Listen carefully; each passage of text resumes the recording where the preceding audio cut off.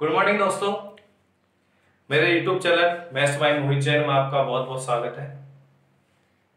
आज मैं आपके लिए लेकर आया हूँ। मैंने आपको जैसे कल बताया था कि आयतीय संख्या पढ़ेंगे आज हम आयतीय संख्या। इसको बोलते हैं रेक्टेंगुलर नंबर्स एक तरीके से बोल सकते हैं रेक्टेंगल नंबर रेक्टेंगल को हिंदी में बोलते हैं आयत। आयतीय संख्या बोलते हैं। ठीक है? कुछ भी नहीं है, आयतीय संख्या है और कुछ नहीं है खास। ठीक है? देखिए आयतीय संख्या होती क्या है? वे संख्याएँ जिन्हें आयत के रूप में रिप्रेजेंट किया जा सकता है। आयत के रूप में रिप्रेजेंट किया जा सकता है, वो सारी संख्या आपकी क्या कहलाती है? आयतीय संख्या कहलाती है। अब आपको मैं बताता हूँ, जैसे ये आपका आयत है, आप सब जानते होंगे, ये आपकी लंबाई होती है और ये आपकी क्या होती है? चौड़ाई। सही है?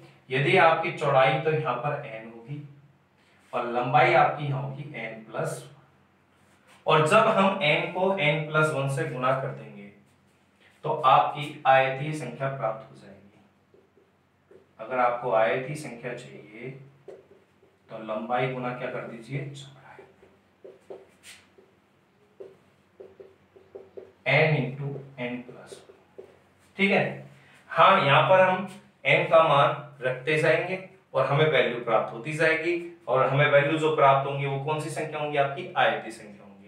तो मैं एन यहाँ पर क्या है? एन यहाँ पर प्राकृत संख्या है। कैसी संख्या है? प्राकृत संख्या। और जो प्राकृत संख्या है, वो आपकी कहाँ से स्टार्ट होती है बच्चों? प्यारे बच्चों, आप जानते होंगे। एन की प्राकृत संख्या और प्राकृत संख्या स्टार्ट होती है एक से। कहाँ से होती है? एक से।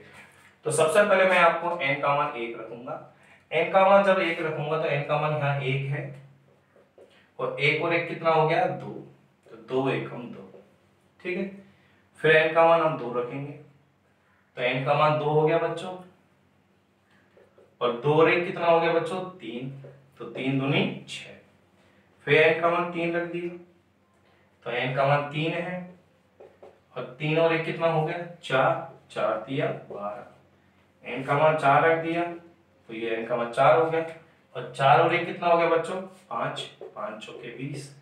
मतलब जो भी एन का मान लेंगे उस एन को n प्लस वन से मतलब एक ज़्यादा से क्या कर देंगे? गुना कर देंगे। और जो आपको ये प्राप्त होंगे रिज़ल्ट ये आपकी कौन सी संख्या कहलाएँगी बच्चों? आयतीय संख्या अगर आपसे कोई पूछ ले, n बराबर पाँच रखा तो पाँच गुना छह तो कितनी होगी?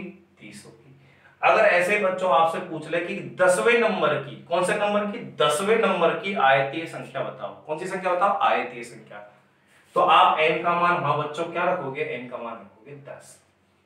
ठीक है, फिर 10 को किससे गुना कर दोगे? मैंने कहा, एक ज़्यादा से गुना कर देना ग्यारह से। तो आपकी कितनी आओगी? 110 प्राप्त हो जाएगी। ठीक है, ये आपकी आयती संख्या होती है। कोई खास नहीं है, बहुत छोट सिंपल है। तो आपने पढ़ा, आयती संख्या क्या होती है? पहली आपकी आयती संख्या क्या होगी? दो। अगली पूछे तो छह। अगली बारह। अगली बीस। अगली तीस। अगली अगली आपकी होगी क्या कहते हैं? छह सात बयालीस। अगली होगी सात आठ छप्पन। अगली होगी आठ नाम बहत्तर और सोलह ठीक है? आप समझ गए होंगे, ये आपकी आय की संख्या बहुत ही सिंपल है, कोई खास नहीं है।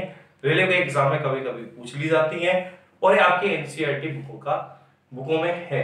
और आपका जो सिलेबस आता है कंपटीशन वो दसवीं तक का आता है और सारा का सारा एनसीईआरटी आता है। तो आप ज़्यादातर बच्चे एसएससी या रेलवे के ही होते हैं, जो सेंट्रल एग्ज़ाम ही है सारी। तो सेंट्रल की किताबों में जब आप उठा के देखो एनसीईआरटी के सिलेबसों में ये सारे पॉइंट मिलेंगे आपको। त्रिकोणीय संख्या है? आयती संख्या है तो सब मिलेगा आपको। ठीक है? तो इसी के साथ में आप निभाने को विराम देता हूँ। अगला अपन नेक्स्ट टॉपिक